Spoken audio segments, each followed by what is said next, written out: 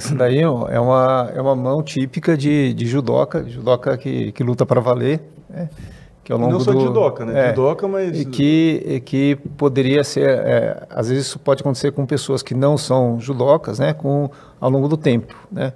Essa, esse espessamento aqui das articulações, né? Chamados de nódulos de Heberden, são, acontece também na, na artrose, né? Artrose na mão. Artrose, artrose na mão e na artrose dos dedos, né? Que é uma condição é, relativamente comum, né? A gente fala que só não vai ter artrose se você não viver tempo suficiente, todo mundo que viver tempo suficiente vai ter, né?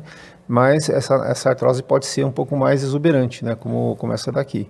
É, o que acontece? Ah, existe um, um processo de desgaste né, da cartilagem, que gera um quadro inflamatório, um aumento de líquido no, no local.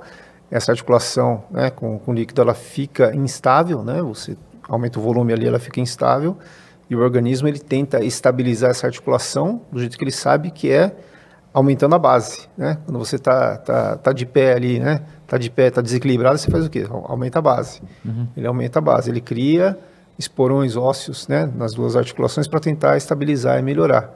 Esses esporões acabam gerando essa essa imagem, né? Essa imagem que chama de nodular, né? Esse, esse caroço aqui no, no local quando você olha o raio-x, né, você vê os biquinhos de osso, né? Uhum. Equivale aqui na coluna, eles chamam de bico de papagaio, né? Eu falo que na mão é o bico de periquito, né, que, é, que, é, menorzinho que pode aparecer aqui.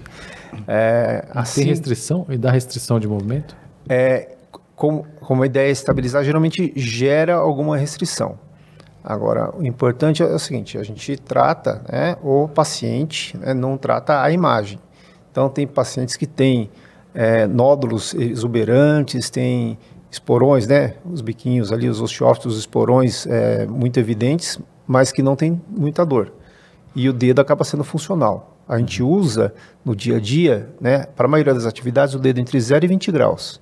Tá? Dificilmente a gente vai fletir demais. Né? Se eu vou, vou pegar, vou escrever, né?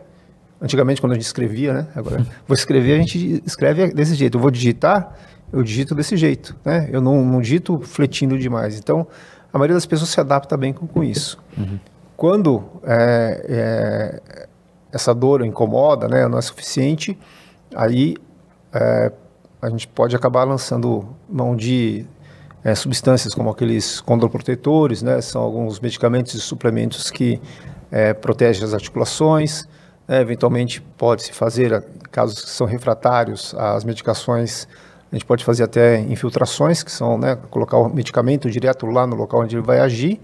E, finalmente, se nada disso funciona, existe a cirurgia de artrodese, em que a gente fixa um ossinho no outro, ganha é, estabilidade, tira dor. A gente pode até tirar, aí pode até tirar os, os, os deixar, os biquinhos deixar o dedo mais, mais bonitinho, só que acaba é, perdendo a, a, flexão né, dessa articulação distal.